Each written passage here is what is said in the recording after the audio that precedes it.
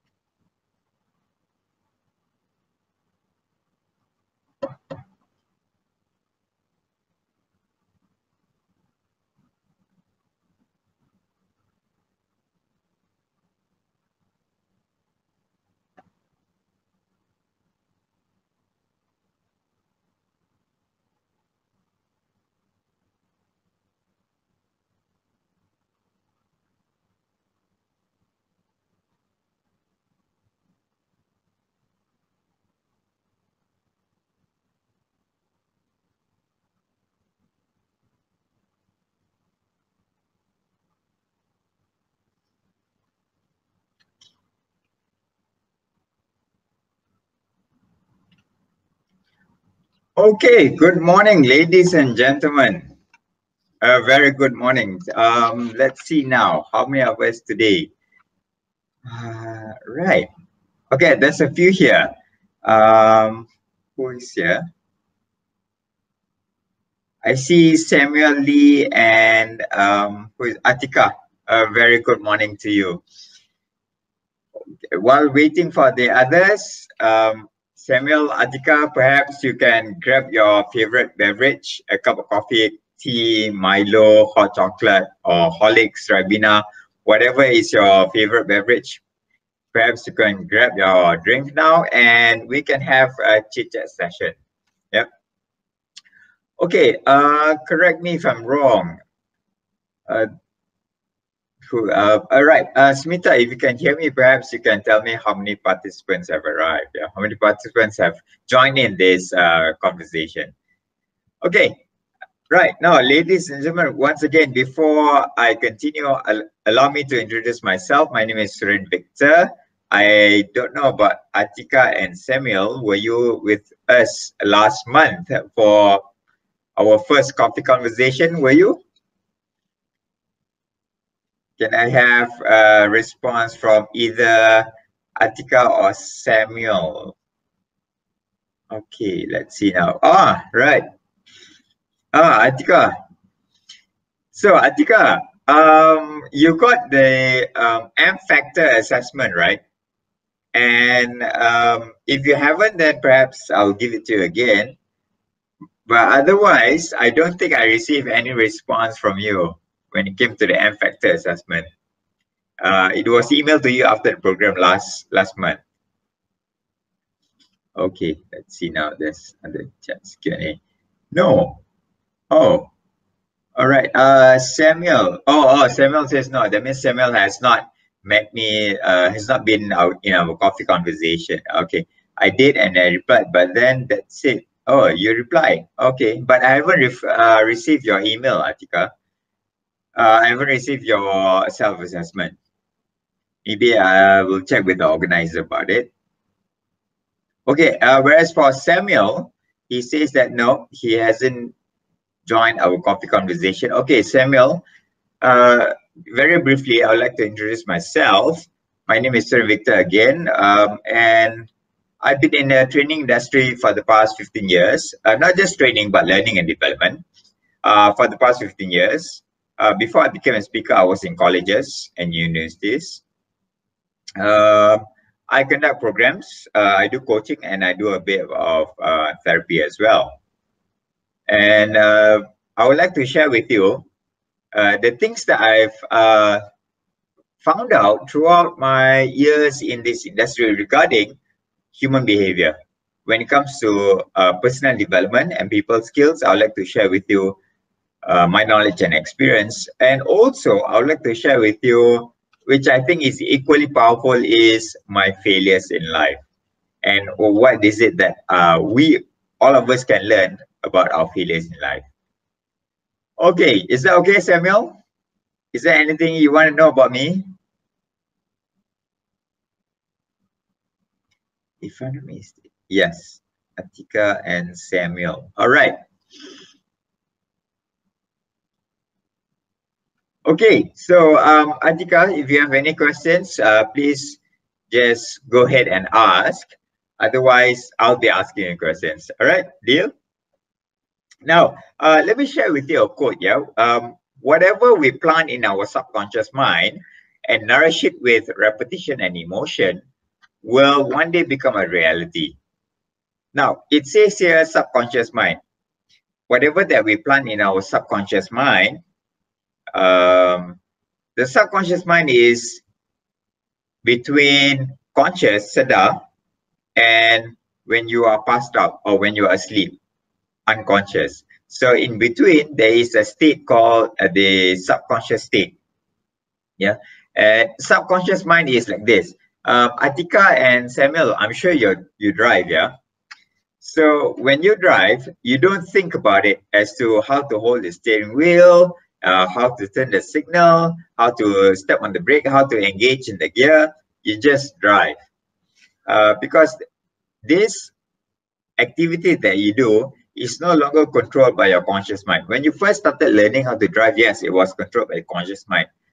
But uh, since it is become a repetition, yeah, uh, it is repetition, yeah, right, and it is uh, something that you don't need to put any input in it yeah, it becomes automatic. It's called autopilot.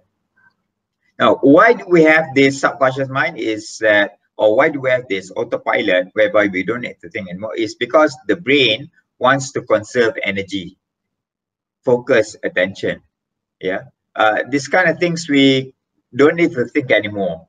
For example, breathing, uh, heartbeat, uh, tying your shoelace, cooking, maybe or typing, uh, doing work, it has become subconscious.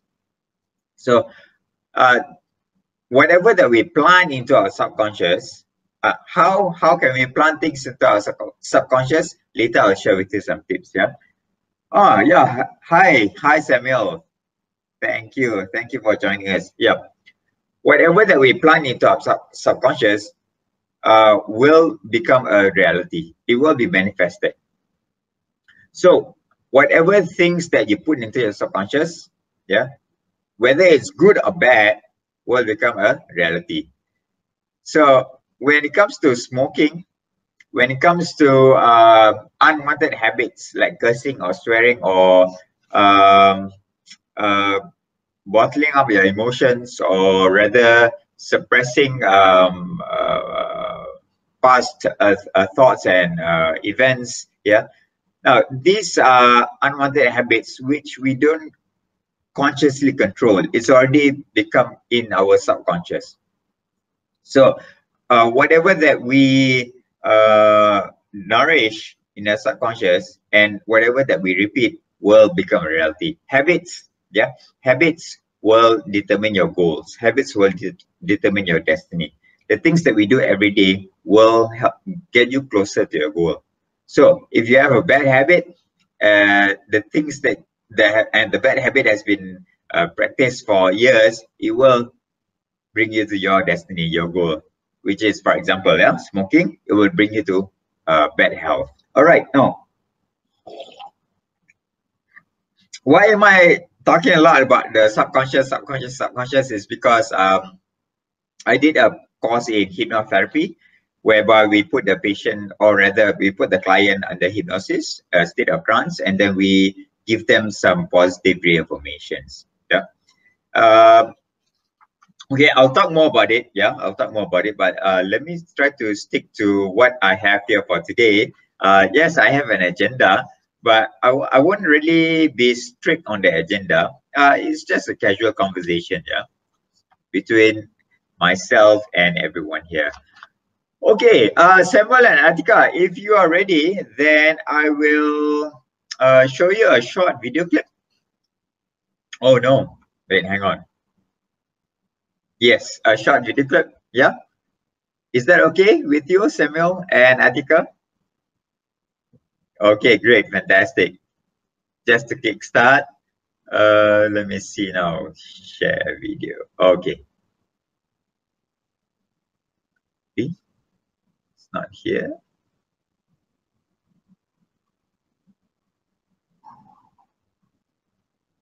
All right. Let me see. Eh? Hmm. Aha, there you go. TV. Just give me a second. All right. Let me know if you can hear it, yeah?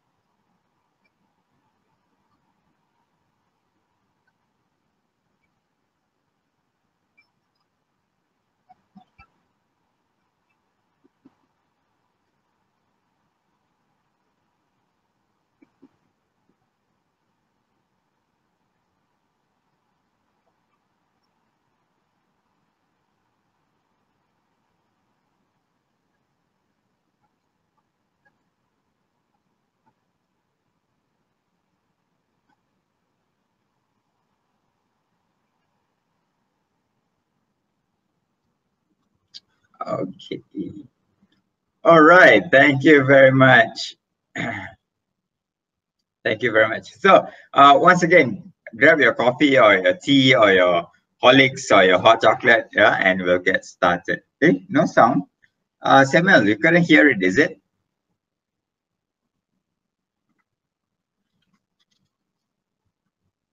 Yeah, no sound, only on and oh, Atika, you can't, you couldn't hear it. Hmm. Interesting.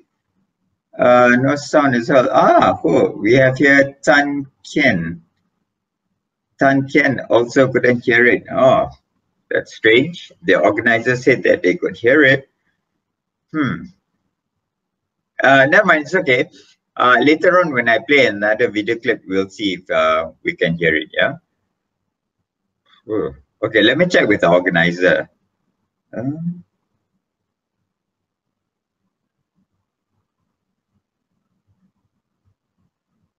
No audio.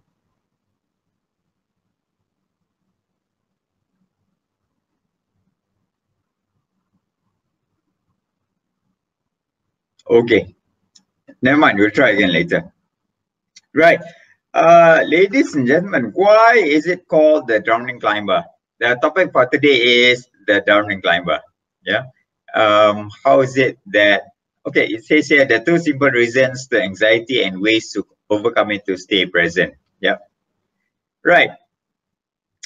Uh, the reason why it's called drowning climber, it's my experience my experience uh, as a climber and how is it that I had this uh, something happened in 2017 uh, it happened on the 14th of February if I'm not mistaken I think it's the 14th February it's uh, Valentine's Day correct 14th Feb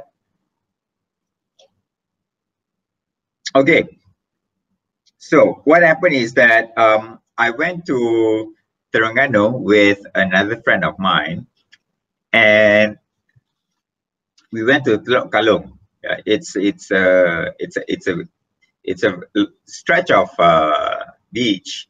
Uh, I'll show you a picture later. It's a stretch of beach here where I didn't know this, but it is actually a place for surfers, for people to go surfing. Uh, meaning say that the waves are big enough for surfing. Yeah, and um, little did I know that there's a lot of um, unwanted incidents uh, over at the local. All right. So um, I went to Terengganu because I had a meeting with one of the human resource managers, but I went a day earlier and I met up with another friend. So there was three of us.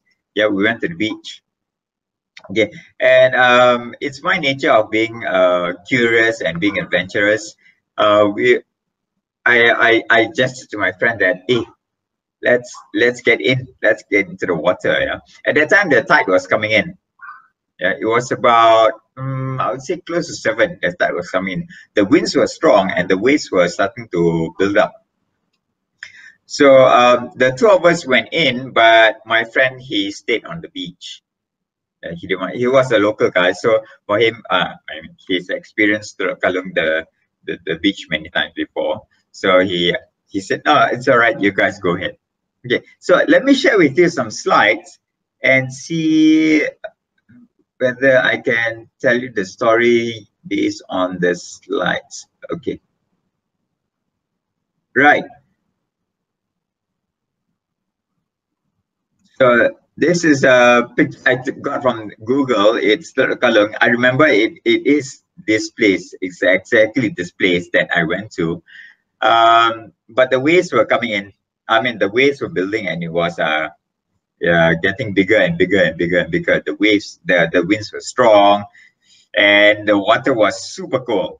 All right, so we went in and then we started to catch the wave. Yeah, we caught the wave and then we sort of like body surfed to the shore. So we caught the wave and we went shore. Okay, now my friend, he uh he decided to uh, he decided to call it call it a day and then he went to uh, started moving towards shore and then i told him that hey uh, let me just catch one more wave yeah uh, now because the wave was already too big too strong um, yes it it did push me closer to the shore but then it pulled me back so i started swimming and started swimming and started swimming and started swimming and started swimming then I became very, very, very, very tired. Okay, yep. So let me just stop there halfway and let me get back to you. All right, so what happened was uh, we caught the wave and then it pushed us towards the shore, yeah? And then we caught another wave and then it pushed us towards the shore. Uh, now, when I caught the last wave, my friend was already closer towards the shore. Uh, it pulled me back yes, it pushed me to the shore, but then it pulled me back, in. So I was going, uh, I would say, in a triangle, where I, I went up, I was being pushed to shore, and then I was being pulled back in. Yeah. Um, so I started swimming. I started swimming. I started swimming, and I've been swimming. I, I just only uh, see the title, but didn't see the photo. Oh, uh, you just saw the title, but didn't see the photo. Uh, okay, uh, let, let me show you again. Yeah, let me show you the slides again. Yeah, uh, not to worry there, Tan Kian. Okay. So I struggle and I struggle, I struggle. Now, one thing about swimming is that I've been swimming since I was seven years old.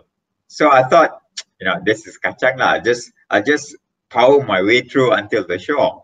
So I started paddling and paddling and paddling and paddling and paddling, and then I became really, really tired because the the uh, though the waves hit the shore, but the current pulled me back in. Yeah, and I couldn't um I couldn't feel the the the the the, the floor. Know, I couldn't feel the ocean floor. So um now I, again once again yeah in retrospect everything's 2020. Uh, little I know that in the east coast the uh the ocean floor is not gradual like uh what you get in Port Dickson. It is uh it slants a bit but then it drops greatly yeah because of the huge waves yeah that that uh, uh eats up the ocean floor it it it has a very drastic drop okay so i could i couldn't feel the ocean floor and i kept paddling and paddling and paddling i became very tired and i started to choke yeah and also plus the conditions the water were was very cold um, and then you, I did what we are all are not supposed to do in that kind of situation, which is panic. I panicked. Uh, so when I panicked, that's it. I lost it. I, I, I, my, my, my breathing was out. My strokes were out, and all I could do was to just scream and shout for help. I, I was calling on my friends. Yeah. Okay. So they, they didn't know what to do the the one guy was on the beach. Yeah, he didn't know what to do because if he goes in, then he might be pulled in as well. And my other friend was already closer to the shore. Also, he was, shall I go in or shall I, shall I go in or shall I get help? Okay, now to cut the story short, there was a surfer, a stranger, a total stranger, who saw the commotion, and he got into the he got into the uh, sea with his surfboard, and he put me uh, put me on the surfboard and he put me back to shore. Now, I was rushed to the hospital, and then I was uh, I was I, of course I was vomiting. I couldn't walk. Um, I was carried into the car, and then they rushed me to the hospital. Uh, this was Kemaman Hospital, yeah. So if anyone here is from Terengganu, familiar with Terengganu, okay. Uh, let me just show you the slides once again, yeah let's see now. Uh, okay. All right. So um, I was being pulled out by this um, stranger surfer. I was rushed to the hospital and I was in induced coma. Yep. And when I recovered, when I gained consciousness, I was surrounded by all these machines. Yeah. Um, my left arm, my right arm, my private parts, uh, things were hooked up with wires and tubes. And um, uh, here you see is my sister. She came all the way from KL. And then, okay, now, once I recovered, I somehow miraculously, after a few months, I uh, went on a trip to Europe with uh, three of my other friends uh, these are some pictures of me, Europe, which I thought uh, is impossible. That will never happen. Yeah. So what are the lessons here? What is it that I would like to share with you regarding this whole episode? Yeah, from drowning and then um, a few months later going on a trip to Europe. Now, the trip on the Euro is not really the lesson; it's the drowning part. Uh, what What is the lesson behind this? Uh, there's a lot actually there's a lot that I could have learned that, that we can learn that I can share with you. Uh, but one of the things is that sometimes uh, things are beyond our control. Now, remember, I've been swimming for since I was seven years old. Yeah, since I was a kid. But even so, I almost drowned. So we can be very good at something, but that is no guarantee that it will pull us through. Um, for example, finances as well. We could have this investment, that investment, this savings, that savings, but sometimes things happen and there goes our investments, there goes our savings. Uh, it's the same with our career as well. We can be so passionate about it. We can be so much interested uh, about it. And somehow we are not wanted by the organization anymore because uh, this has happened to me as well. So one of the things that I learned is that sometimes some things are just beyond our control. We can be we can be prepared. Yeah, we can be prepared, but uh, it does not guarantee us uh, immunity. It does not guarantee us that uh, something unwanted and something undesired will happen to us. Yeah. All right. Um, other than that, what else? Um, I was really in a bad state of mind back then. Oh, another thing, I was uh, I had a hypothermia I had kidney failure. I went for dialysis for seven times, and then um, uh, thank God that my kidneys uh, recovered. It was not a permanent damage. It was a reversible kidney damage. That's what the doctors call it. Yeah. So after seven uh, rounds of dialysis, oh, they cleared me. Uh, I also had bacterial infection and uh, what else? Pneumonia. So uh, Wow, that was in 2017. Now, when when I was down and out, when I was in the hospital bed, I was in ICU for six days. Yeah, um, I thought to myself that uh, I'm never going to be able to climb again. Um, I'm never uh, able to think think things. The the the the most the prominent thought in my head that repeated over and over again was why why did this happen to me? Why did this happen to me? Why? Why, why, why, why, why, why, why? Uh, over and over and over and over again. Yeah. How could something, uh, how could this happen to me? Why did this happen to me?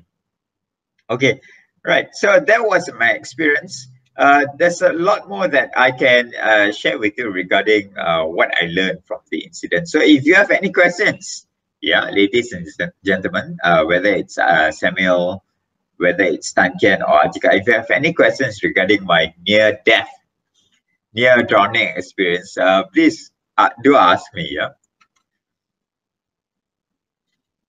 Yeah. Also, I learned about the the importance of having a medical insurance.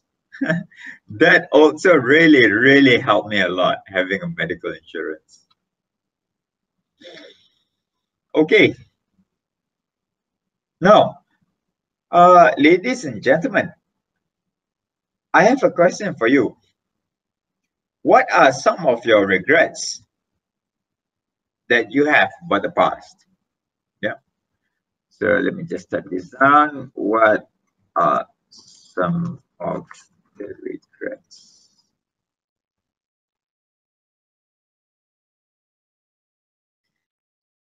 Anyone? Do you have any regrets?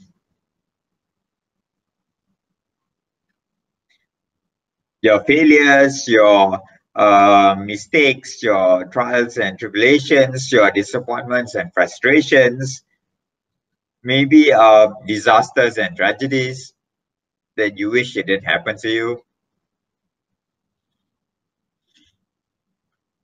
Do you have any regrets regarding your financial decisions, your career decisions, your relationships, your health, perhaps. Yeah.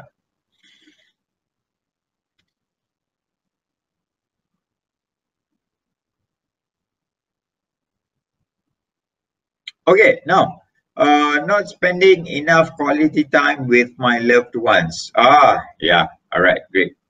Thank you, Samuel not spending enough quality time. Thank you, Isabel, for sharing. What about the rest? Anyone else? Do you have any regrets about your past?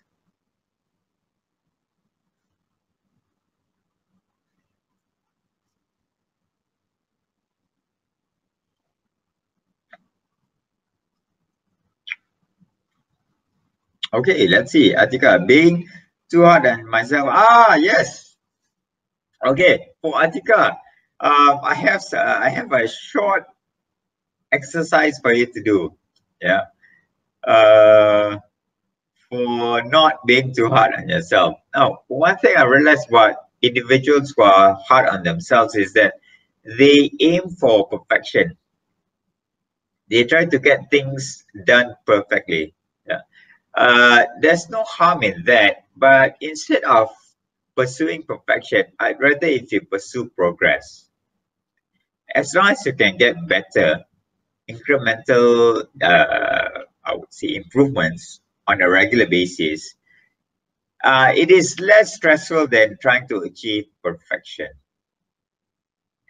Uh, I've come across, Atika, I've come across participants who, um, who share your uh, thought or rather who share a sentiment that they are being too hard on themselves. They appear very strong. They appear very, um, I would say, um, I would, what's the word, very uh, confident yeah? Uh, but i deep down what i found out is that they try to project a perfect uh, a perfect uh, what do you call that? Version of themselves. Uh, maybe because they feel that they they have a lot of responsibilities and they need to uh, perform well so that they don't let other people down. Yeah. So having this thought of not wanting to let other people down, I need to do the best. I need to get the best. Why? Because I need to give it to them, to them, to them, to them, to them, to them. Um, especially you want to provide for your parents, you want to provide for your family. All right. So you may take it too hard on yourself. Uh, sometimes you just need to give you a pat on, on, on the back. Yeah, give yourself a pat on the back and say that no, it's fine. I did my best, and uh, I'm gonna continuously try to be a better so and so. All right. Now, one thing about regrets, yeah, it is normal. It is healthy to have regrets. Once again, it's healthy to have regrets it's healthy to feel guilty. But the difference between, uh, I would say, having a having regrets and feeling guilty about it, and having regrets and uh, making a lesson is that how we feel about it. Student, um, suami mengalami kemalangan di tempat kerja. Yes, okay, yeah. So these are, thank you, Hasna. So these are, uh, I would say, disasters or rather tragedies yeah, that we so, so don't want, but it has happened. Like, for example, what happened to me four years ago. For me, it was, whoa, it was really a tragedy. I never thought that it will happen to me. Yeah, but it happened not being able to let go of bad personal and work episodes. Yep, yep. All right. Now, um, if if we still have a strong emotional or rather unpleasant feeling about it, it means that we haven't really addressed it. We haven't really processed it.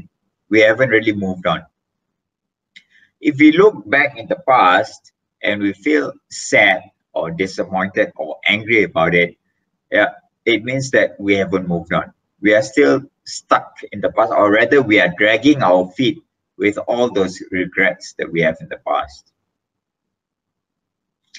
Okay, uh, now, one of the things that we can ask ourselves uh, about the past is that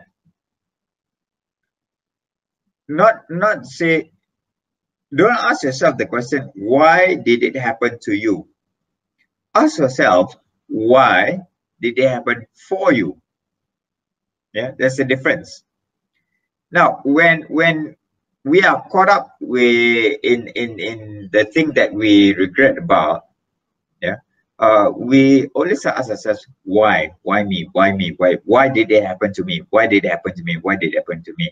Um, if you want to move on, yeah, you just want it to be a lesson. Uh, just just another book on your shelf. Yeah.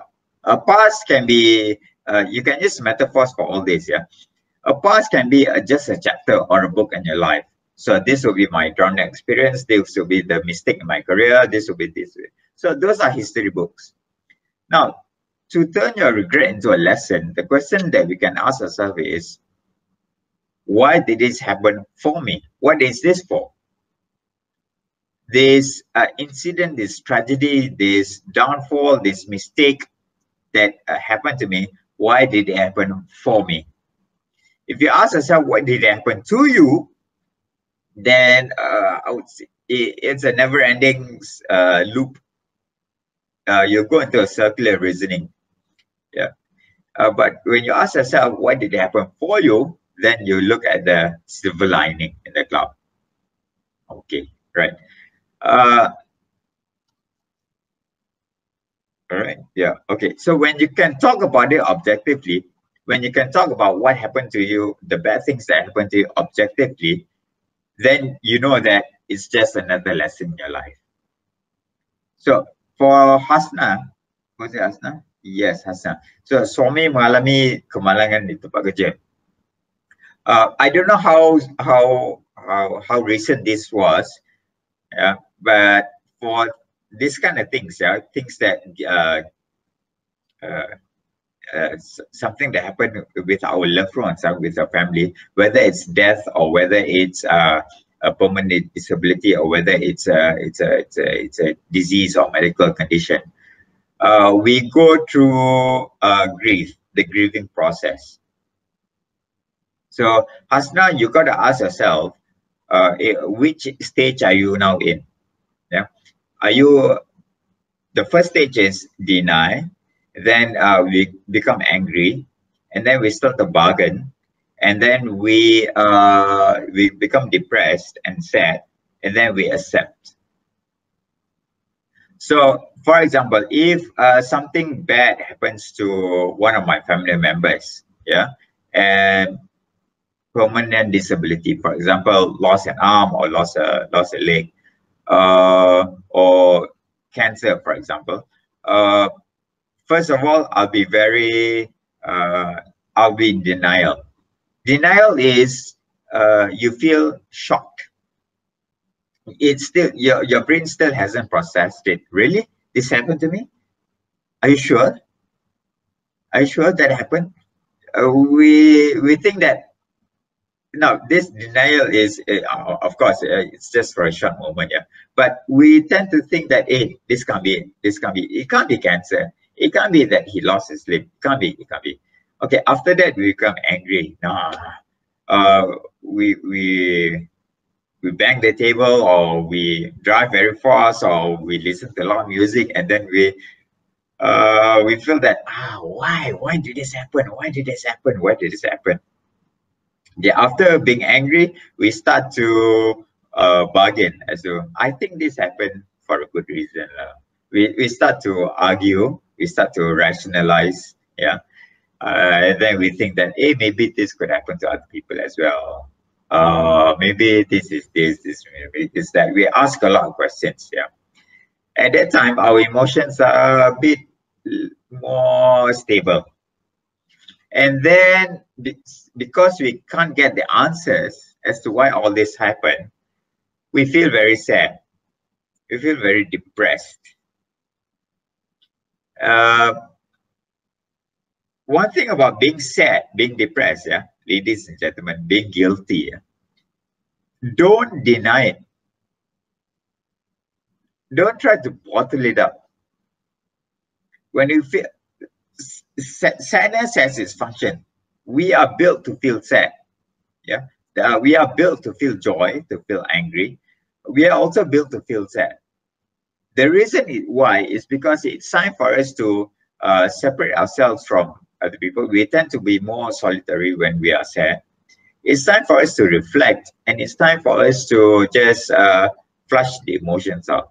whether it's by crying or whether it's by uh, uh, sleeping or whether it's by just by uh, journaling, writing, that is for us to reflect. Now, once we have gone through uh, being depressed or being extremely sad, and then when we can ask, answer the question as to why this happened to me, then you accept it. Once you have accepted the thing that has happened for you, not to you, yeah, for you, uh, that's when you can move on. Yeah, so all my failures in life, I go, I ask myself, what stage am I in? And have I processed it? One of the ways of you processing your past is one of it is seeing a psychiatrist, uh, seeing a psychologist, uh, going for therapy. Uh, but there's, I would say, the simplest way of processing your past is by writing it down. Yeah, simply by writing it down and asking yourself questions. Uh, why, who, what, when. Okay, so what's next? What can I learn from this? Right. So, ladies and gentlemen, that's the thing about the past. Uh, you, we, we need to process it. We need to look at it objectively. Then your past now becomes a lesson, and it doesn't become a burden. Yeah. All right. Now, one thing about anxiety, our topic for today, yeah, one thing about anxiety is that this we are here now. This is called the present. Yeah. What happened before is our past. And what's going to happen in the future later on is called the future. So we have our present, where we are now, what happened last year, last two years, last three years, last four years, last week, last 10 years. And then also we have things that are going to happen. Now, the, the three questions that we constantly ask ourselves, which makes us very anxious yeah, is, did I do the right thing? Am I doing the right thing? And will I be doing the right thing? So when we are overwhelmed by these three questions, yeah, did I do the right thing? In other words, regret. Am I doing the right thing? Which means the lack of confidence, uh, doubtful, yeah, uncertain. Will I do the right thing? Also, fear. So all these three questions regarding our past, present, and future, that makes us very anxious. That makes us very anxious. So what can we do about it? Like I said just now, when it comes to your past, take it as a lesson. Take it as a now. If you go see a therapist, they will uh, put you in a state of trance, and then they will um, uh, allow your subconscious mind to process whatever uh, issues that you have in the past. Yeah. So I would really recommend if those of you who have um, uh, a, a very traumatic or undesired past and you want to address it, you want to process it, go see a therapist. Yeah. They will help you out. Um, otherwise, yeah, it's as simple as writing it down. Take maybe 20 minutes or half an hour, uh, be alone and just write, write down what is it that has happened to you in the past and what does it mean to you now, today. Yeah. Okay. Regarding the future, uh, it is something that we can uh, prepare ourselves for. Yeah, whether it's career, whether it's family, whether it's business, whether it's finances, we can plan for it. But at the end of the day, it is something beyond our control.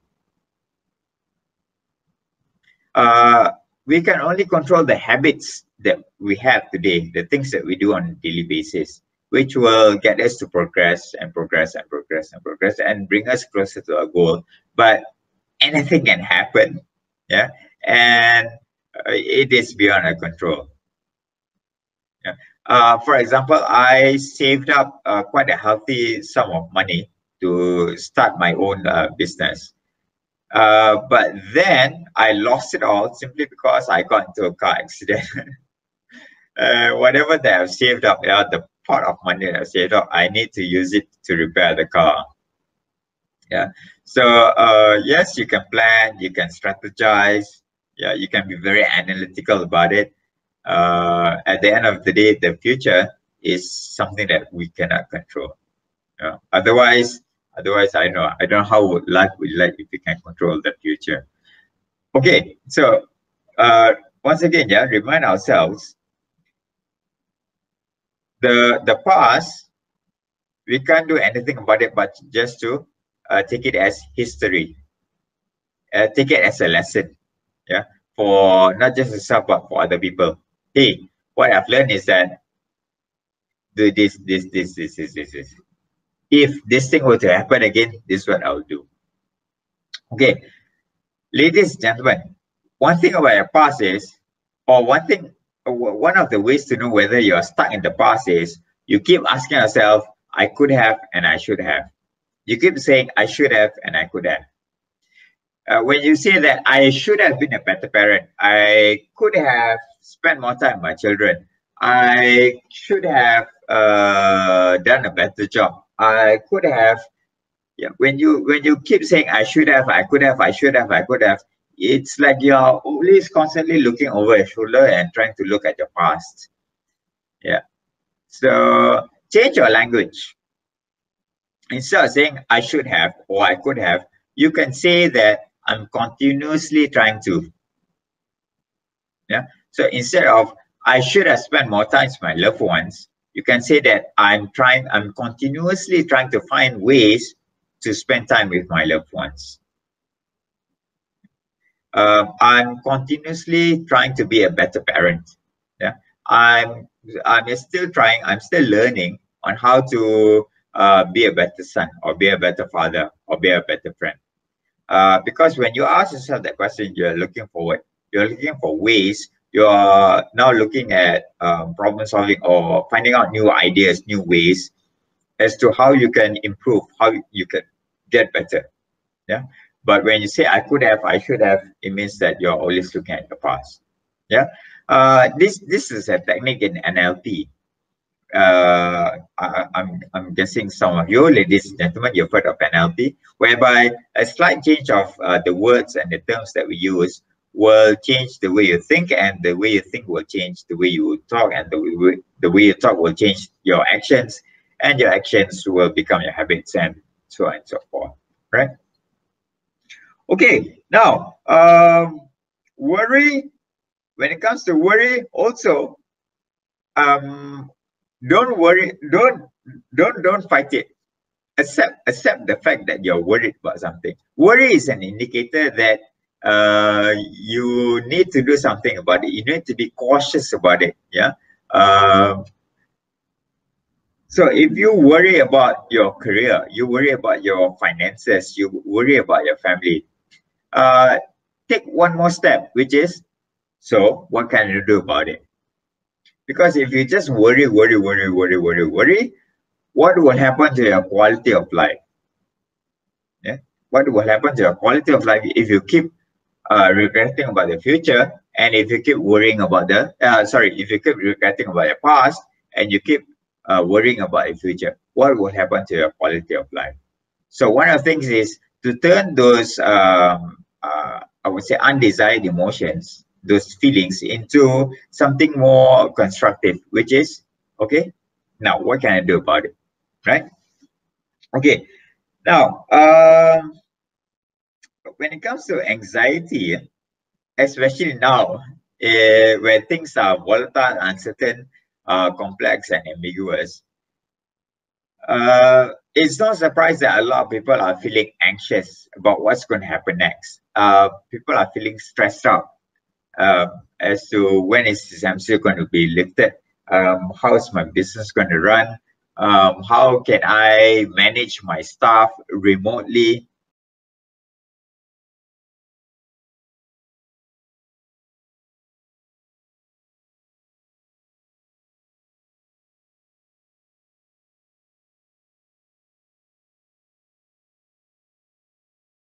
for weeks, for months. Yeah, we grew up. We are so used to living a life whereby we go out almost every day. We go to the office, we interact.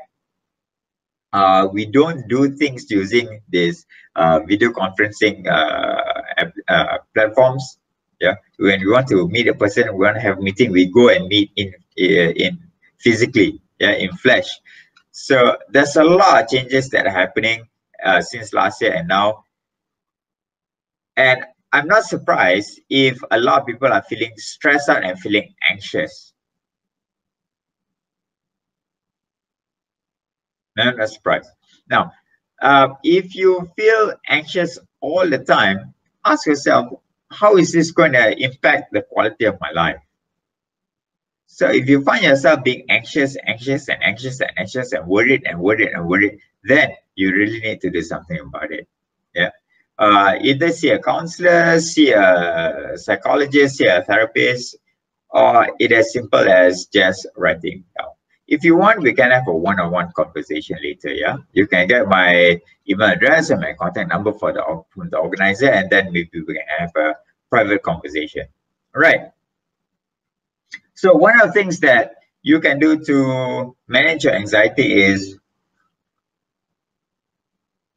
uh, deep breathing. Right. So here's a here's a way on, on, how we can manage stress and uh, anxiety. Okay. What you do is that you take a deep breath through your nose. Take a deep breath for about seven seconds. How would you know in seven seconds? So when you breathe in, you do this. One, two, three, four, five, six, seven. Yeah. One, two, three, four, five, six, seven. So you take a deep breath.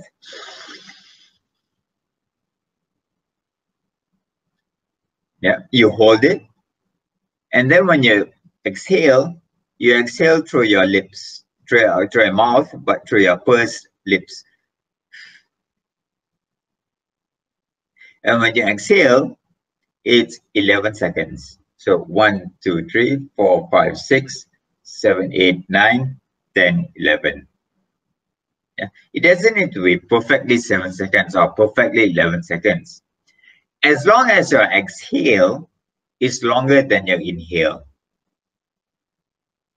So for, you can inhale for 5 seconds and exhale for uh, 9 seconds. You can inhale for if if you're a yoga practitioner or uh, you uh you, meditation is something that you've been practicing yeah yeah you can make it longer.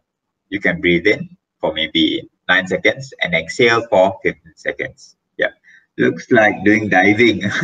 It looks like doing diving yeah. Uh i don't know about diving uh tan Kian, i've not i've not i've not tried scuba diving so i don't know whether uh, that's how you breathe in. No, I think for scuba diving, it's using your mouth only. You inhale and exhale using your mouth. Yeah. But this one, deep breathing, you inhale using your nose. And then you hold it. Yeah, you hold it and then you exhale longer. Yeah. Uh, when you inhale, your heart rate goes faster and then when you exhale, your heart rate goes lower. Now, if your heart rate between your inhale and exhale is bigger, yeah, then your vagal tone is better. Now, your vagus nerve is the biggest nerve from your head through all parts of your body. Um, vagal tone is when your uh, working heart rate and your resting heart rate is uh, there's a big difference. Yeah. One of the ways of increasing our vagal tone is by learning how to take deep breaths.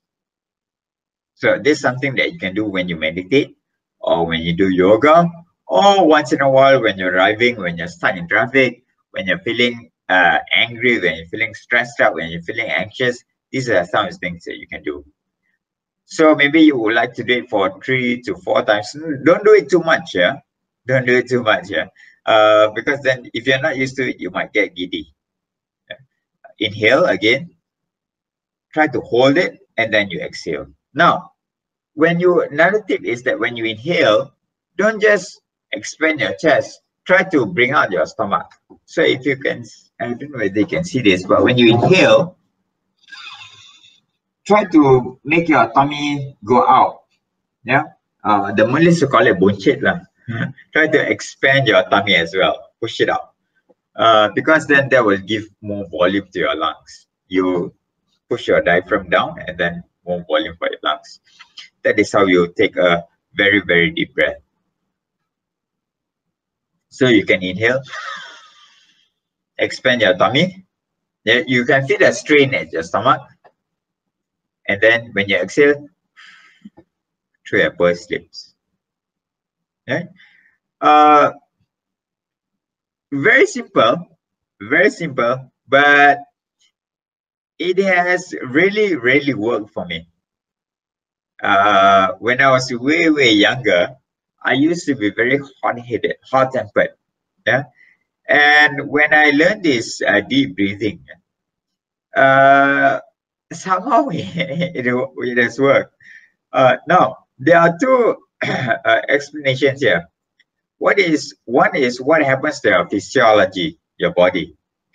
Uh, when you introduce in more oxygen into your into your body, then it, you will dissipate your uh, the you will dissipate the cortisol and the what's the other one? Uh, cortisol and the adrenaline that is uh, peaking in your bloodstream. Yeah, when you're tense, when you're ang uh, anxious, yeah, when you're stressed out, you release uh, chemicals in your body that makes your heart beat faster, makes your um, uh, pupils uh, constrict, uh, makes your muscle tense, makes your breathing more rapid. So you want to dissipate those chemicals, and one of the ways is by introducing a lot of oxygen in. So that is the uh, changes that is brought about by deep breathing to your physiology. Now, when you count, when you count one, two, three, four, five, six, seven, it's actually to uh, benefit your psychology. It's to channel your thoughts away from what's making you anxious about the future, about your career, about your finances, about your loved ones. It's to uh, focus your attention away from all those into counting. Yeah, uh, some practitioners they focus on the sound of the breathing, so they breathe in through the nose, and they focus on the sound. If you try to inhale, the sound produced, yeah, and then when you exhale, yep, the sound of the uh, I would say the sort of wind through the pursed lips. Yeah. Blowing air. Yeah, it's the sound. So you fo uh, focus your mind away from what is uh, bothering you, what's stressing you out, to either the sound of the breathing or to the counting of the breathing. Yeah. Now, doing that for about three to four minutes per day is good enough. It's good enough. So whenever you find yourself anxious, nervous, stressed out, do this deep breathing. Very simple. Yeah. Uh, but in the long run, if you want to address your anxiety, your panic, your fears, yeah, uh, you need to either start writing, journaling. It's very powerful. Or also you can go see a therapist or a counselor. Yeah. If this is reoccurring, now, some people have panic attacks. Panic attacks is when you lose control. When when you're driving and you let go of the steering wheel, do you feel a bit panic? yeah, right. So when people have panic attacks or severe anxiety, uh, it is because they feel that they're not in control anymore. And when you're not in control anymore, you tend to think, hey, what's going to happen? What's going to happen? What's going to happen? Now, it is a good survival mechanism. But if it's unfounded, like you are, you are fearful or stressed out about things that you cannot control, uh, then that is unhealthy. eh, when it starts to erode the quality of your life, for example, performance anxiety, uh, you need to present to your CEO or to your boss. Yeah, you need to present to uh, to, to an audience. Now, if you get on stage and if you have severe anxiety, you tend to go blank. You will start to sweat. You start to tremble. If that is going to adversely uh, affect your performance, then go seek professional help. Yeah. Otherwise, slight, um, I would say, slight uh, nervousness, feeling nervous, feeling slightly anxious, uh, feeling slightly stressed out about the situation. Uh, deep breathing is good enough. Uh, it is normal, it is healthy to feel stressed out, to feel anxious, to feel nervous. But if it has adverse effects, effects sorry, on the quality of your life, on your performance, then you got to seek medical help. Uh, sorry, professional help. Yeah. Okay, so that is um, anxiety. That is about worry. Okay, so one of the ways to overcome it is, like I said, it's not deep breathing, journaling, writing it down, yeah, uh, and also reasoning, turning it into a lesson, and learn to accept, learn to accept the things that is beyond your control. Yeah. Okay. Let's see, what else do I have for you? Now, uh, let's see if you can see this video clip. Eh? Oh, sorry, watch this video clip. And whether you can hear it as well. Okay.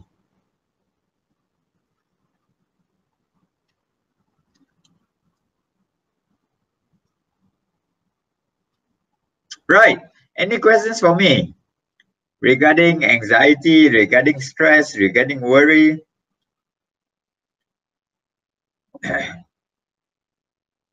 Okay. So let me try to play play you a short video clip and see if it works this time, whether you can hear the audio as well. Audio. Hmm. Let me see now.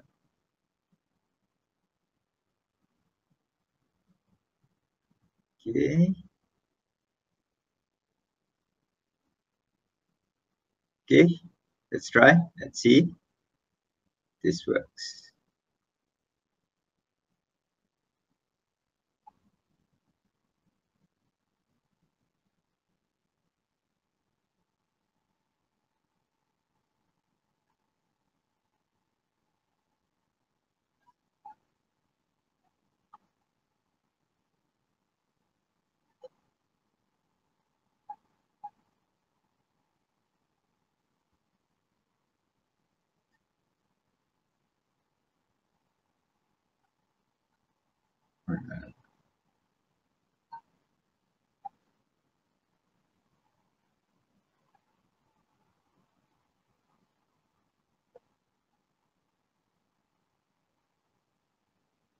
Hmm.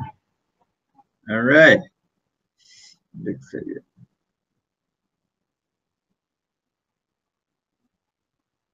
Okay, looks like we have an issue. There's no sound, it seems. Hmm. that right then. Uh, that it's a song. Uh, it's a song called Que Sera Sera. Uh, it is a reminder for us that sometimes uh, we just don't know. We just gotta let go, and whatever will be, will be. Yeah. No matter how much you prepare for it, no matter how, uh, what are the precautions that you take, uh, we, we cannot control what's going to happen to us. To a certain extent, yes, of course, we can take precautions. We can wear helmet. We can have these investments. We can have these savings. But what's going to happen Que Sera, Sera. Whatever will be, will be. Yeah. Um, I don't know why is it that I can't share the audio. Why is it not working? But it's all right then. So if you have time later, I don't know, when you have time later, do listen to the song. It's a very short song. It's called Que Sera Sera. Yeah.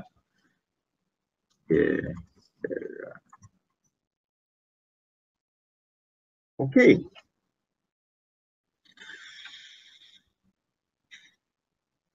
So, uh, whatever your past mistakes or whatever your uh, struggles or challenges or disasters and tragedies that has happened to you, uh, please do process it. Please do turn it into a history lesson. Yeah, um, see it from an empowered point of view. Uh, for example, if you were abused when you were a kid, uh, try to go back to that uh, time when you were to the to the incident and look at it from a empowered point of view. Empowered means you're you're already confident, you've already achieved a certain success in life, and also you have uh, uh, different perspectives as to when you were a child. Yeah. So in therapy, we call this um, uh, regression. We go back in time and we see things, we dissociate, we see things from an adult point of view, from a different perspective as to why it happened. Yeah. Uh, so for example, if let's say uh, I I as a kid I uh, I made my parents angry, yeah, or my parents were very disappointed in me, or let's say uh, someone um, um, uh, physically abused me, yeah, and it was a very traumatic experience. Um, I regress, I go back in time, and I replay the incident and I see things from an empowered point of view. Yeah, and uh, give assurance to that seven-year-old kid, to that uh, little boy, yeah, as to it's okay, things are fine. Uh, this happens for a reason, and the reason is, yeah, it has made me more confident. It has made me realize that it has made me more knowledgeable. Yeah, right. So when my friends ask me, do I feel traumatized from my drowning incident? Um, no, it's because I have uh, processed it. I've seen it from an empowered point of view as to uh, why it happened for me. Yeah, the drowning incident. So if you if you if you if you go to the beach, if you ask me to swim in the ocean, will I do it? I will do it. Yeah, I will do it. I, I still have that a bit of fear, a bit of the anxiety, but it's completely fine. Yeah, it's a defense mechanism, but it wouldn't uh, cripple me. It wouldn't paralyze me. Uh, also, um, I would like to say that uh, relationships are very powerful, whether you realize this or not. Um, I was hospitalized in Sunway Hospital fantastic, yeah, top-notch service. Uh, the doctors and the nurses were technicians. Yeah. Uh, I, I completely respect, hats off to the doctors and the nurses. They did their job well. Uh, but besides the treatment and the medication, what I would say is equally or if not more powerful is the human touch by your family and friends. Don't underestimate the, the, the power of touch. Just a gentle touch, a tap on the foot or on the uh, back of the hand, that is unknowingly, un unknowing to us, it's actually very powerful. Uh, so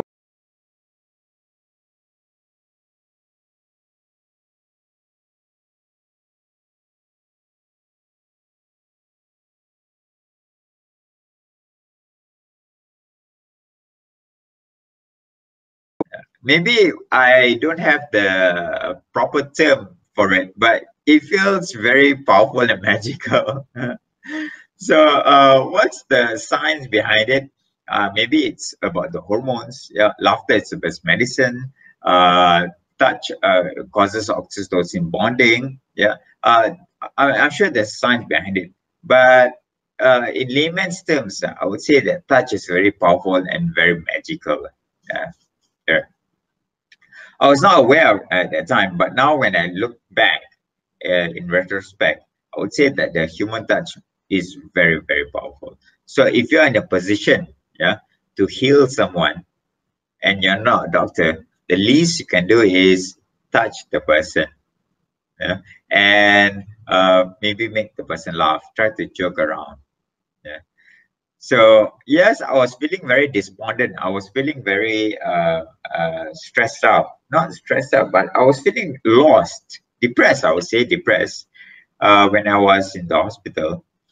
And uh, but my friends, instead of um, dwelling on it, or instead of uh, being sad, they continued having fun.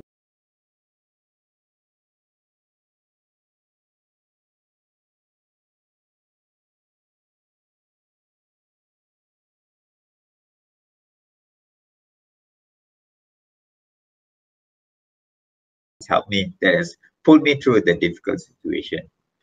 So uh, if you're in a position to visit someone in the hospital or to visit a sick friend or to visit a, a friend who is um, uh, feeling down and depressed uh, yes empathize but try not to bring the person further down by you also feeling sad for oh, yeah, why this happened. Uh.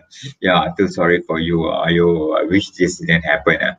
Uh, just pretend that life goes on. Just pretend that you know things will get better. It's called being optimistic. Yeah? Uh, just try to uh, uh, uh, be silly and joke around and, and talk about the good things talk, talk about the good things that may happen uh, tomorrow or next week or next month. So my friends, when they visited me in the hospital, they kept reminding me about the Europe trip that we are about to do in a few months' time.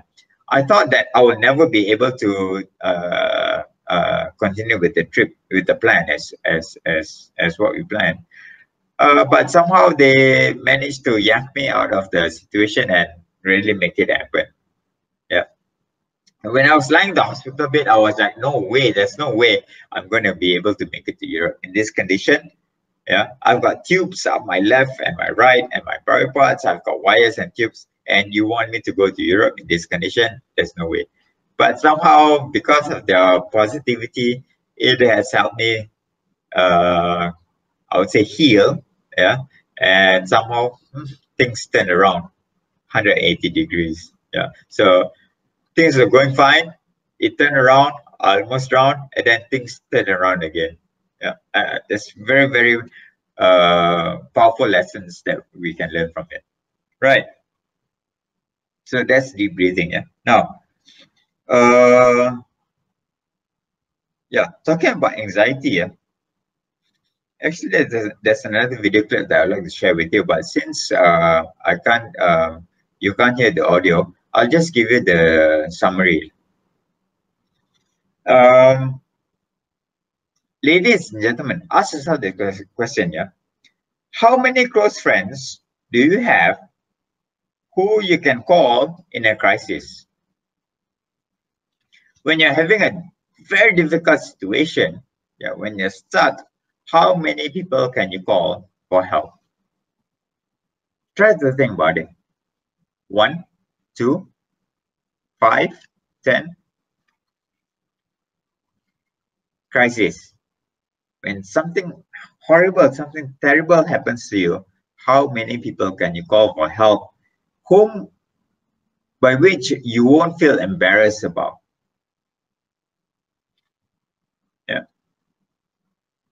Think about it.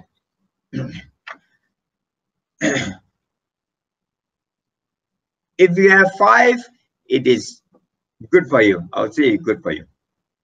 If you have these five people who you can call in times of crisis, I would say good for you. Yeah. Uh, crisis, not just financially, but when it comes to relationship, your marriage, your career, uh, your business, or your internal struggle.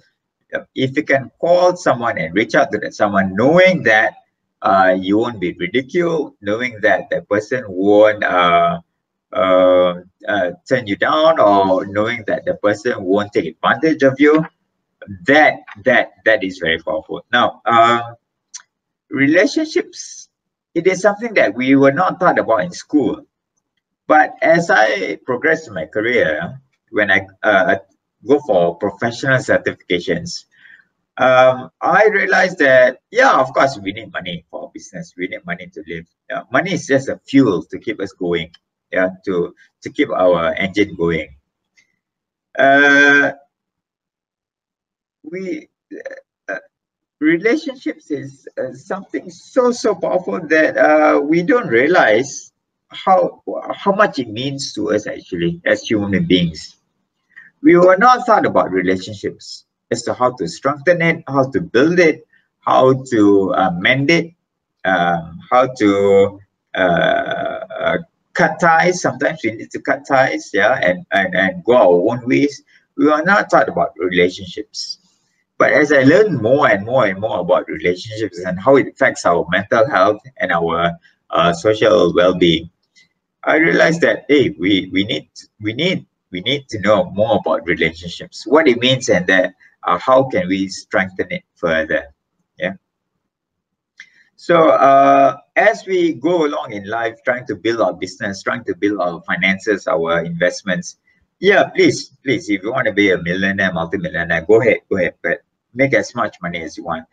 Uh, but at the same time, try try to uh, strengthen, yeah, try to increase the quality of your relationships, whether it's with your family, with your spouse, with your friends, with your colleagues, uh, whether it's a professional relationship or a personal relationship, try to find ways to strengthen it. Um, it is very powerful. Uh, we therapists would like to call it biopsychosocial that means build on your physical, your bio, build on your psychology, and build on your sociology. And you say you and your neighborhood, your community, your friends, your family. Bio, psycho, social. Uh, that is how we therapists, we consider psychologists, that's how we view a person. Yep. Okay. Uh, the other point that I'd like to share with you is that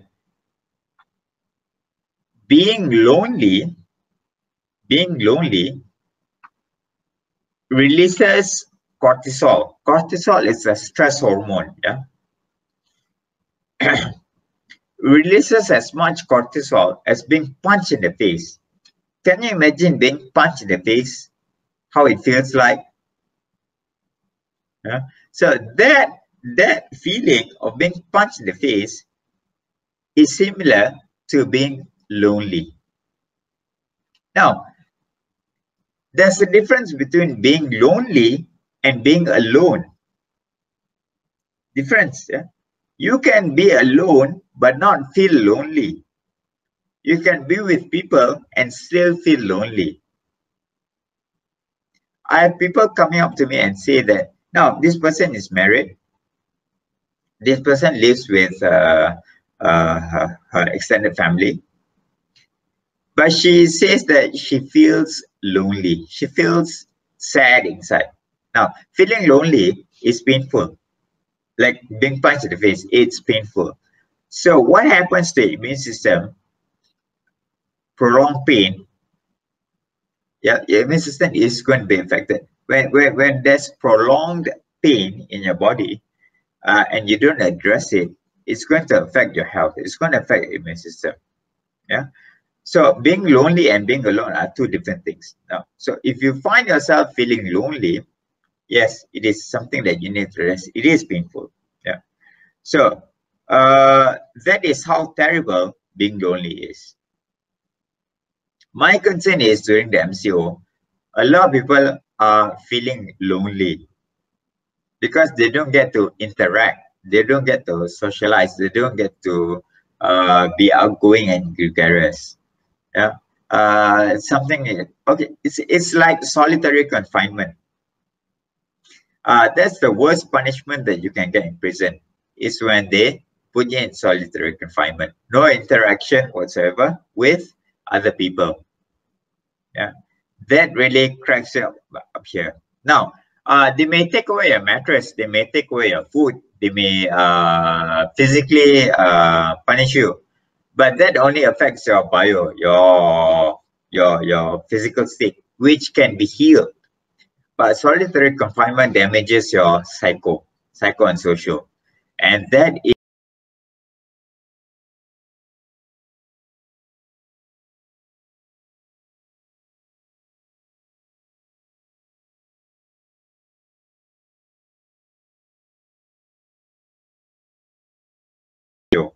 And one of the things that you can do is that be more outgoing, build on your relationships.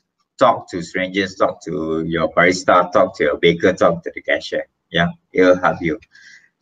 Okay, now number three. Uh, exposure to the natural world is a very powerful antidepressant. Yeah, being out there in Mother Nature, going out for a walk in the park. Yeah, it's as simple as going for a walk in the park. It is a very powerful antidepressant. Uh, one of the things that is recommended is step on the earth, step on the ground, uh, on soil, yeah, barefooted. You want to make that connection with Mother Nature. So uh, do find the opportunity, go to a park, uh, sit on the bench, remove your shoes or your slippers or sandals, and make contact with Mother Nature. Yeah, skin to earth. Yeah. All right, it's a very powerful antidepressant. Uh, okay, another thing is that uh, interacting, yeah, being with other people, being more social, is because uh, when we start to be in groups, yeah, of course we start to gossip lah. But another thing is that we tend to start to solve other people's problems. Everyone has got problems of their own. Uh, when you're alone, we tend to get too bogged down, too overwhelmed by our own problems. But when we are with other people, when we share the problems and they share their problems with us, we tend to solve problems for other people. Now, why? I, I mean, I'm still finding out why, why, why, why we do this. That's an evolutionary uh, explanation to it. But uh, instead of going uh, thinking about why, now think about, okay, so now this is powerful. Let's try to do it.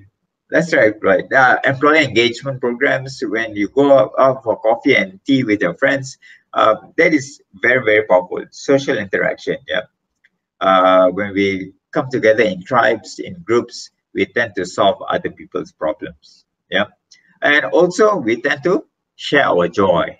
We tend to laugh and we tend to talk about what is it that we have achieved. So, uh, happiness, when shared, is double.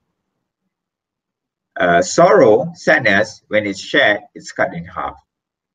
So when you're happy and you share it, you double it. When you have uh, sadness, sorrow, when you share it with your friends, you cut it in half. Yeah. In other words, the burden is not being shared by the tribe, by the group. Yeah.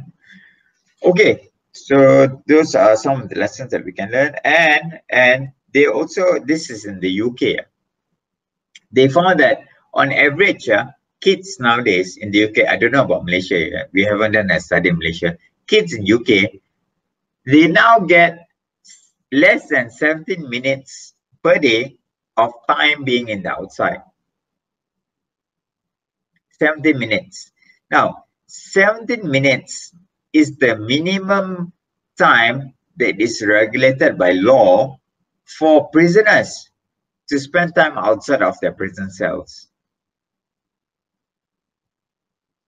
So, to be humane, to have a very humane prison, you need to allow your prisoners at least 17 minutes of outside time of being in the outdoors per day. But kids nowadays are getting less than 17 minutes of being in the outdoors. That is in the UK. I don't know about Malaysia. Uh, but I would use that as an example, uh, a highly developed nation. Yeah, how much, how little time their children get to play outside, being in the outdoors. So for those of us who have kids, yeah, who are parents, allowing your kids to go outdoors, going outside the house is super, super important. Yeah. At least, uh, at least 20 minutes per day. Yeah. All right. It's good for their uh, psychosocial. Okay, uh, do you have any other questions? regarding stress, regarding anxiety, yeah, and regarding uh, the ways to overcome it.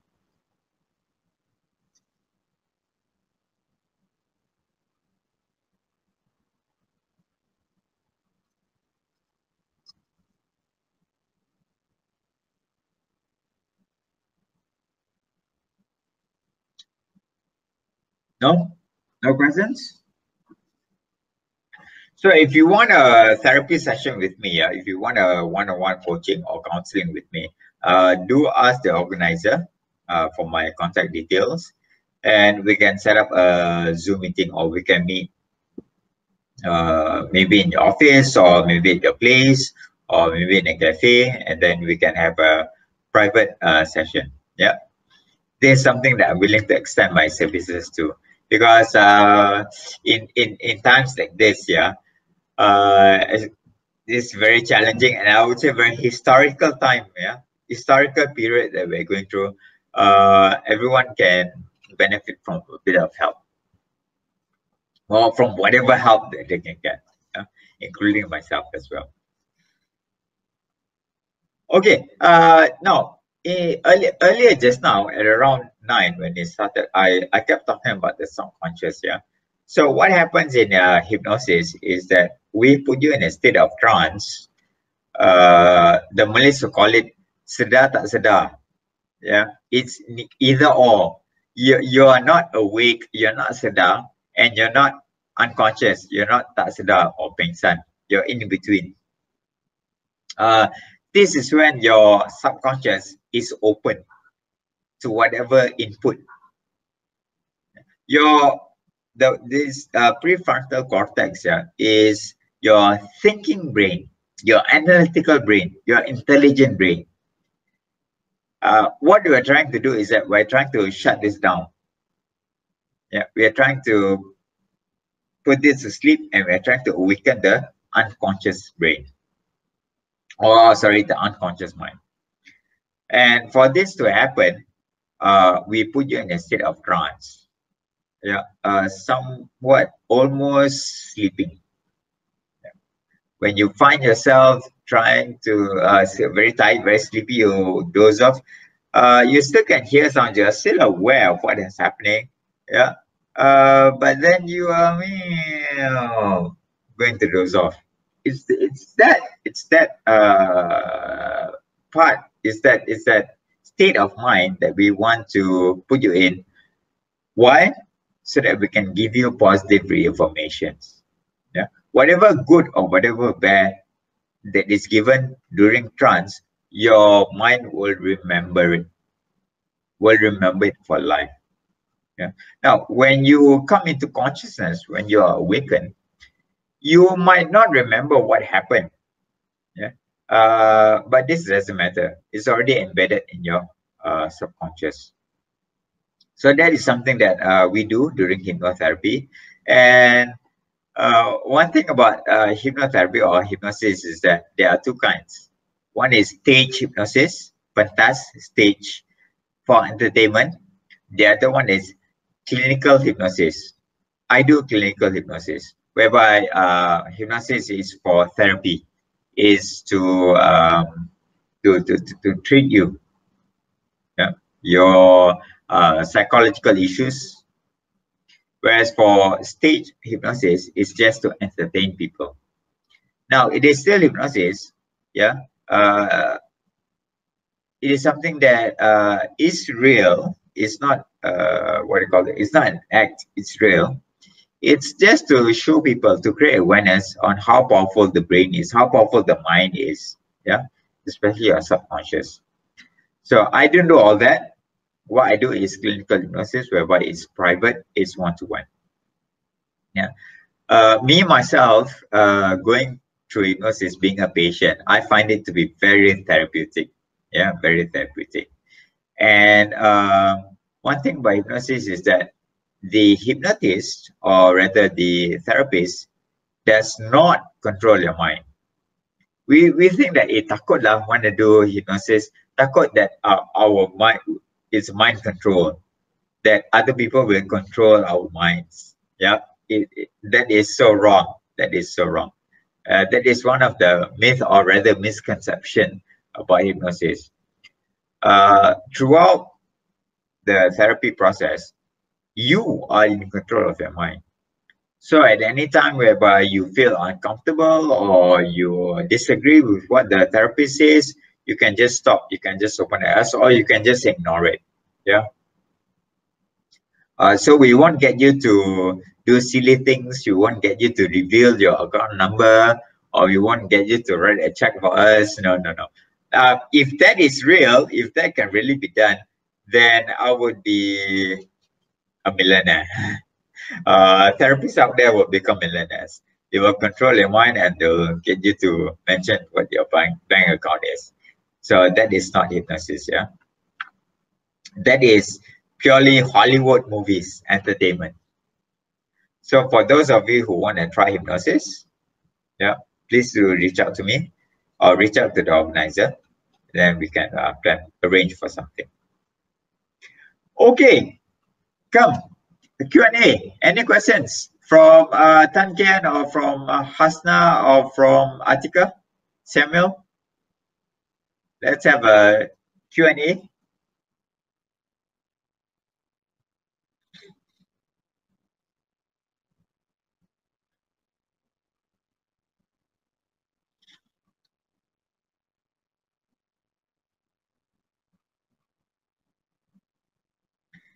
Okay. Uh, interesting. No, thanks. Uh, okay, there's a question earlier from Samuel.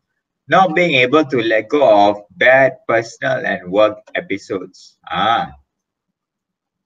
Why? Why is it that you're not being able to let go? Uh, and uh, but a more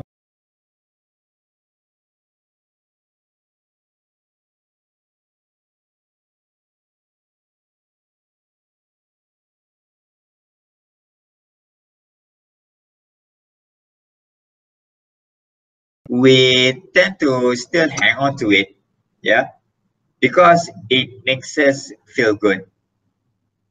Uh, for example, if something bad happened to me, my boss did something to me that uh, is uh, very hurtful, yeah, is undesired. I may hang on to it because why? I get other people to sympathize with me. When other people, Allah kasihan you or oh, poor you, yeah, over and over and over again, I get attention. So sometimes people hang on to their past, hang on to their issues and problems. Why? Because they get attention. Yeah, uh, they get sympathy from other people. Uh, no, that is one of the reasons yeah, why people hang on to it. Uh, another reason why people hang on to it is that because of resentment. Yeah? uh, or rather they are still in the stage of being denial or being angry that no this can't be true. This this, this cannot be happening to me. Yeah. I'm a performer at work. How can he say that my presentation of my report was lousy? Right. So if uh, for samuel yeah if you can't let go of personal uh, and bad personal work episodes uh, perhaps we can have a more uh, deeper conversation about it. Yeah. And we'll, we can find ways to uh, address it yeah, and to manage it. Now, some things, some things cannot be solved. If it cannot be solved, we just need to manage it and live with it. Yeah. Uh, for example, uh, if you have a, if I have a medical condition, where there's no cure for it, whereby it's a hereditary, then instead of solving it, I live with it, I manage it. So the Taoists have this saying, if it's uh, if it's a problem that can be solved, why do you stress out about it? If it's a problem that cannot be solved, then why stress out about it? Uh, in other words, there's no point stressing about it. If you can solve it, solve it. If you can't solve it, then live with it. Yeah. Uh, it sounds simple, but it can be done, yeah, actually. So Samuel, if you if you want to learn to let go of your bad uh, personal experiences and work experiences, uh, do let me know. And that's one interesting thing about what Hasna said. Uh, no, Hasna, sorry, Atika. Ah, being too hard on yourself. So, Atika, uh, I suggest you do this, yeah. Uh, when you take a shower, why shower? Because elements, the uh, natural elements, uh, fire, water, earth, wood, wind, yeah. So water is the easiest. When you take a shower, I want you to put your hand on your chest and say that four things, yeah. I'm sorry. I forgive you. Thank you. I love you. Yeah. So for those of you who think that you are taking it too hard on yourself, this is what you can do. Yeah. Um, you may cry, you may become angry, you may doesn't matter.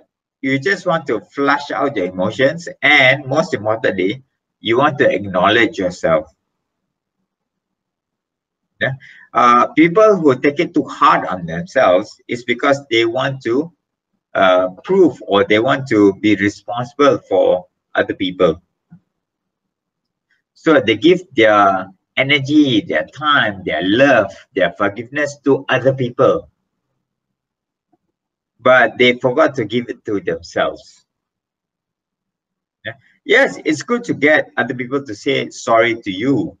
It's good to get other people to say, I love you. But how many of us do it to ourselves?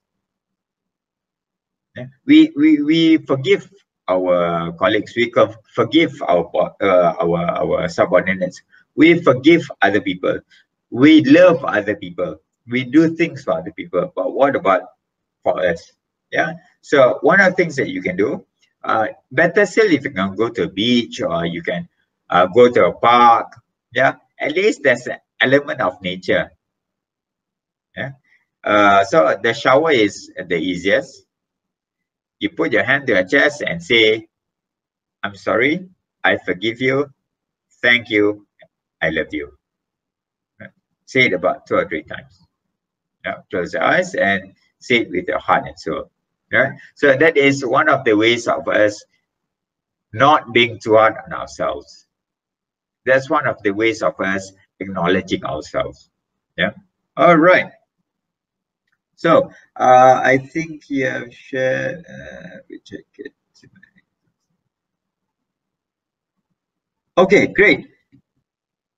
More than what I get from a counseling sessions. Okay, great, fantastic. So uh, just a very quick recap, yeah, ladies and gentlemen, before we end, since there's no more questions. Um, I would say that uh, when it comes to anxiety, yeah, it's because we dwell on our past. We feel guilty about our past. Uh, we are very uh, uncertain about what's happening now in the present. And we are fearful about the future. We don't know what's going to happen to our money, to our family, to our business, to our career. Yeah. And then when it comes to our past, we tend to think I should have, I could have, I should have bought that car instead of that car. I should have saved in that investment, not in that investment. I should have put my money there, not there. I could have, I should have, I could have, yeah. So instead of uh, uh, going in that uh, thinking pattern, rather ask yourself, why did it happen for you? Not to you, but why did it happen for you? Yeah. Now, regarding the present, it's all about your habits. What you do today. What you do today.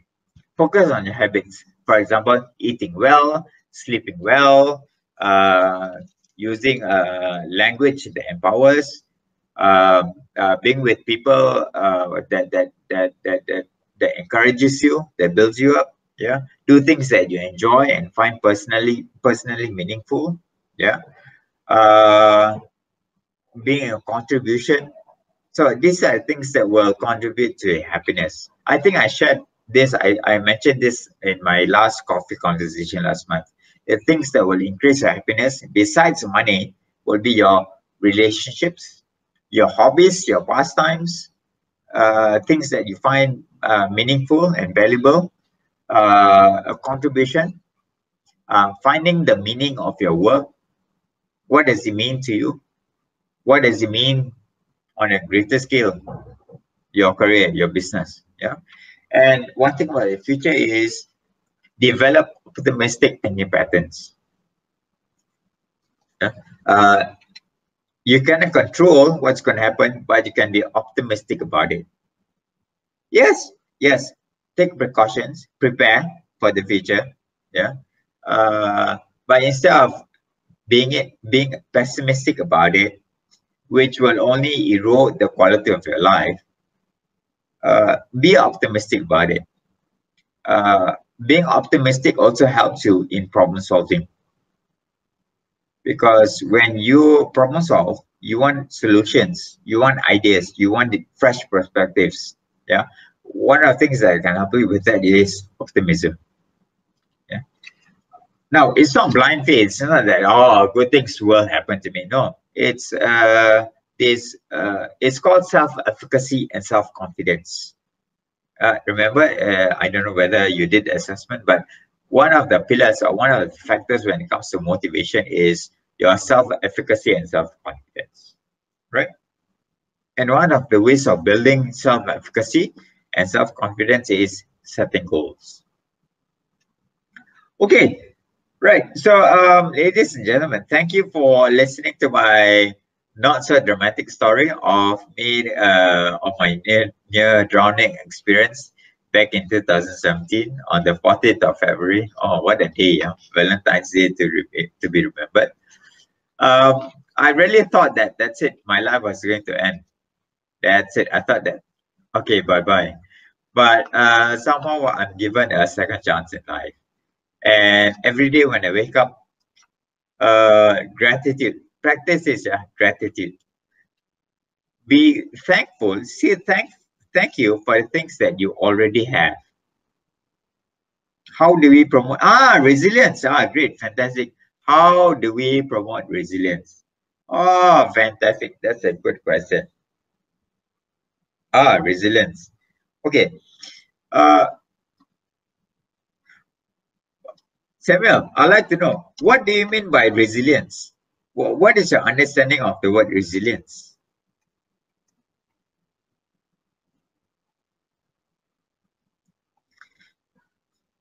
And why do you want to be resilient? in terms of your business, your career, your relationships? What's the difference between resilience and persistence and perseverance? Yeah, okay. One of the things of, uh, one of the ways of uh, being resilient is uh, developing positive and optimistic thinking habits, thinking patterns. Yeah. Uh, right.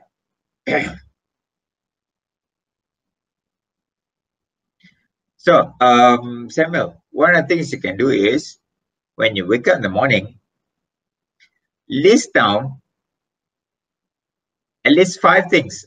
I usually say three things, but I'm going to give Samuel extra a bit, yeah uh, extra homework, extra exercise to do. List down five things that you're thankful for. Yeah. Before you start to think about what are things that you need to achieve, whether it's a 100K or whether it's a promotion or whether it's uh, securing that deal, before we think about how to, uh, the things that we don't have, think first of the things that you already have. Now, the thing about being resilient is you need to do it every day. It's a practice that, that it's a habit. It needs to be every day, every day, every day. And then later on, after a month, two months, three months, then your mind becomes more resilient. It, now, being resilient is not an overnight thing. It's not that I can just tap you on the shoulder and then you become resilient. Yeah. It is like building a biceps. It needs to become a habit. It needs to become a daily practice. Yeah. So one of the things, Samuel, what you can do is that gratitude. Think about that. At least five things that you're very thankful for, and be specific. Yeah, be specific. Okay, so um, I would like to know what do you mean by resilient, and uh, in which area of your life do you want to be resilient? Yeah, uh, to help my staff who may be facing challenges through uh, about the COVID-19. Yes, of course, fantastic. So Samuel, uh, that is uh, one of the things that we as managers or we as business owners or we uh, as people who have subordinates, our concern is that uh, how do you help your staff through these challenging times, yeah, COVID-19. That is something we all, we all are facing. Uh, one of the things that you can do is uh, try to encourage them to uh, meditate, try to encourage them to uh, these deep breathing exercises.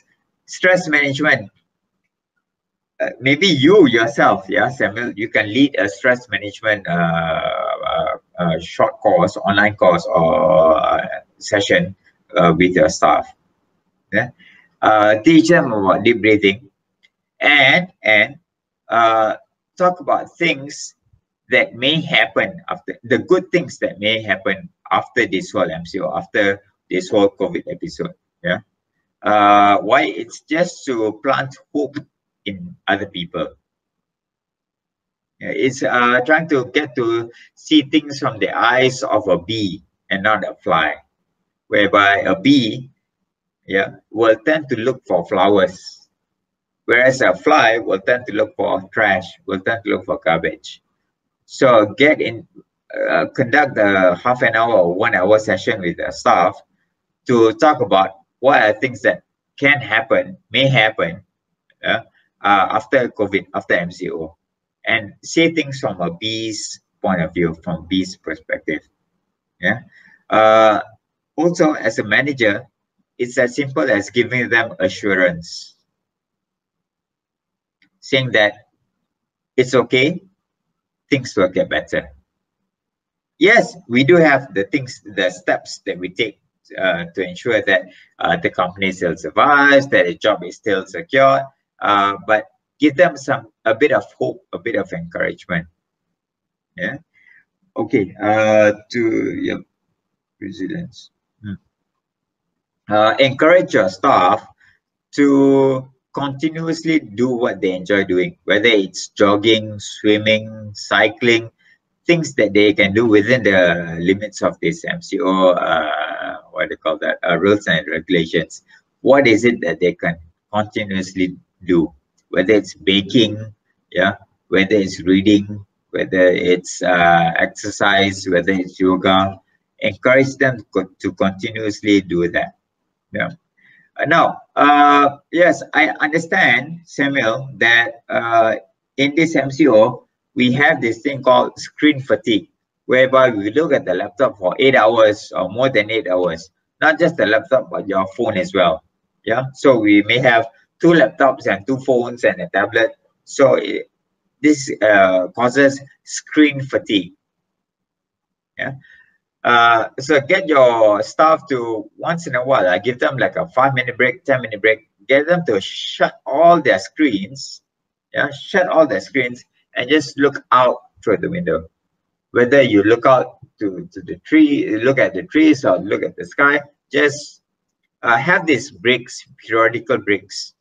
Yeah, after one hour or after two hours or during lunch, tell them to shut down everything and just look out the window or look at other people, look at other things.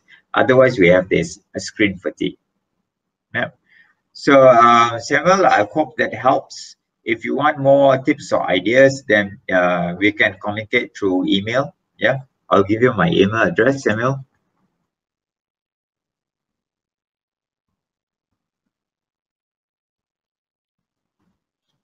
Okay, another thing is that um, I have a friend who is a certified yoga instructor and she does online classes as well.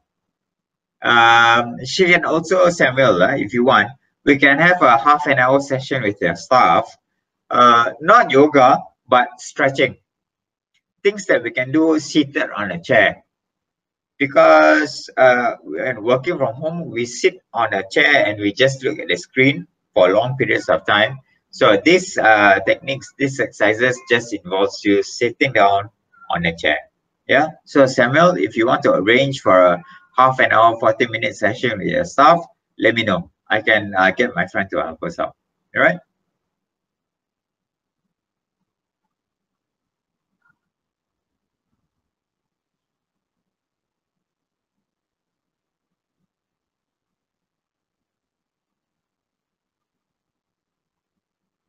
Okay. Ah, okay. Samuel's email address is Samuel dot lee at whencan.com whencan.com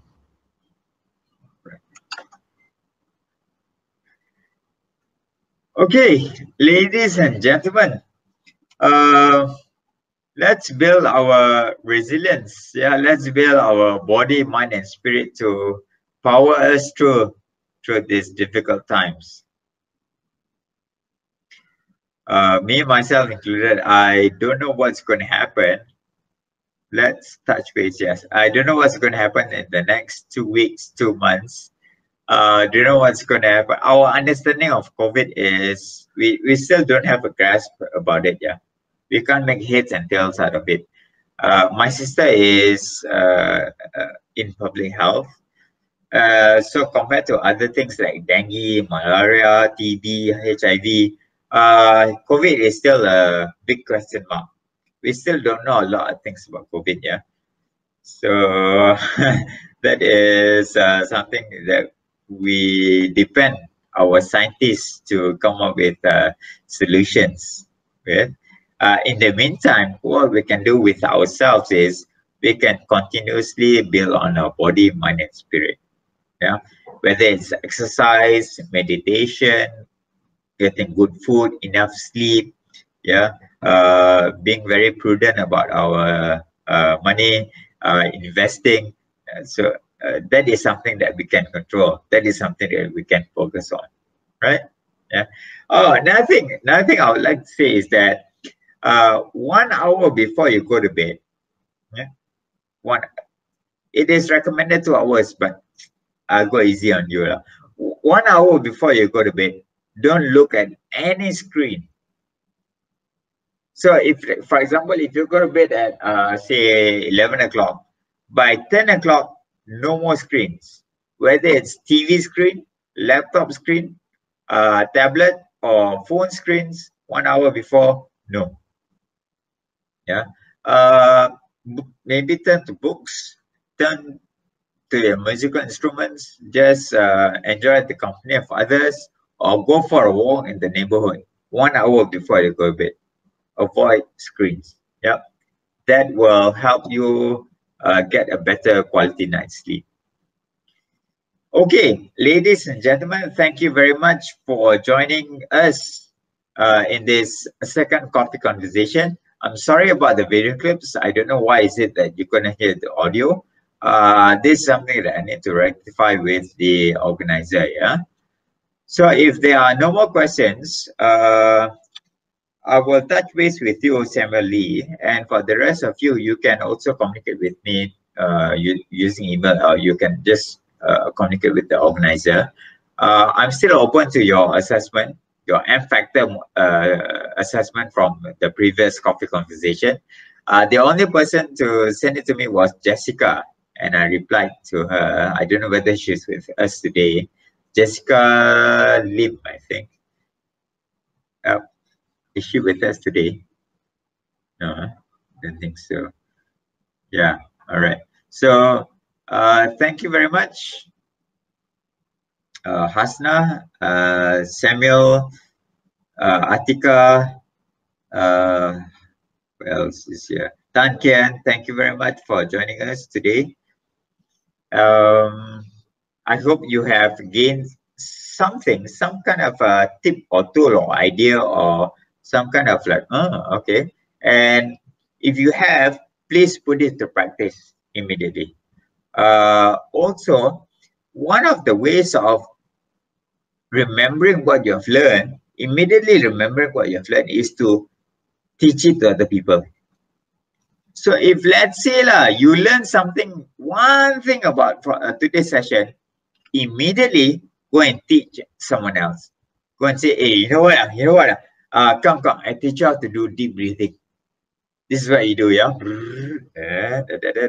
Okay. In, when you teach someone, you retain 75, no, 90% of what you learn. Once again, yeah, when you teach someone else what you learn, you retain 90% of the information. Yeah. So please do share this knowledge or whatever tips or tools that you got from this session. Please do share with your colleagues, your friends, your family members, right? So thank you very much. Uh, terima kasih. Uh, Hasna. Yeah, terima kasih Hasna from, what is this? Malsa. Malsa Corporation. Thank you very much. And I hope to see you again in next month's coffee conversation. Yep. That is all from me. From uh, Excel Academy, I would like to say thank you very much and all the best.